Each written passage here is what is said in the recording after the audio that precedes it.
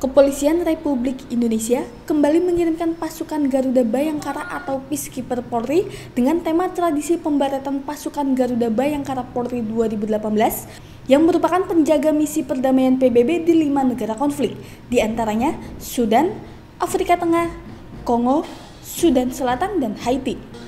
Kepala Divisi Hubungan Internasional Inspektur Jenderal Polisi HS Malta yang bertindak sebagai inspektur upacara dalam pembaratan 2 FPU mengatakan, pasukan yang dikirim memiliki tugas dan peran penting dalam melaksanakan misi perdamaian tersebut. FPU dipercaya oleh bangsa-bangsa di dunia untuk dapat bekerja sama dalam menangani dan menjaga perdamaian dunia. Jumlah FPU UNAMID pada tahun ini 168 personel. Kemudian untuk MINUSCA 154, Kemudian untuk IPO berbagai negara kita tugaskan ada 29 orang. Jadi itu itu yang tahun dari tahun sebelumnya memang ada peningkatan. Uh, bukan eskalasi saya kira, ini hanya permintaan dari PBB dan kita juga termasuk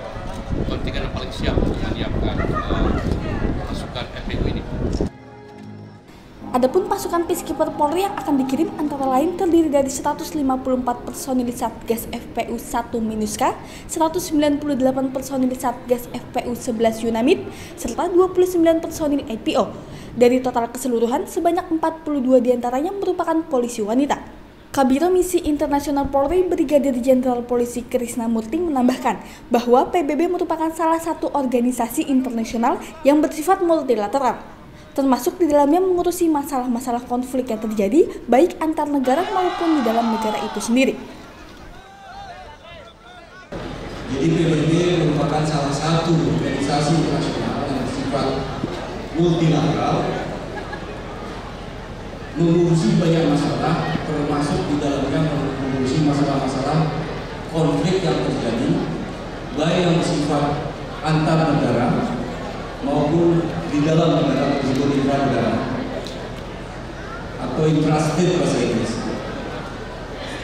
Di dunia ini banyak negara-negara yang masih terlibat konflik dan membutuhkan bantuan negara lain. Apakah terlibat konflik karena konflik politik, genosida, maupun perpecahan karena perbedaan-perbedaan suku, agama, ras, dan agama. Para personil yang telah berlatih selama 9 bulan di bawah bimbingan Kabiro Misi Internasional Polri menunjukkan kemampuannya di depan Kadif Binter dan para tamu undangan hadir. Dari Bogor, Jawa Barat, Tim Liputan Tribrata TV, salam Tribrata.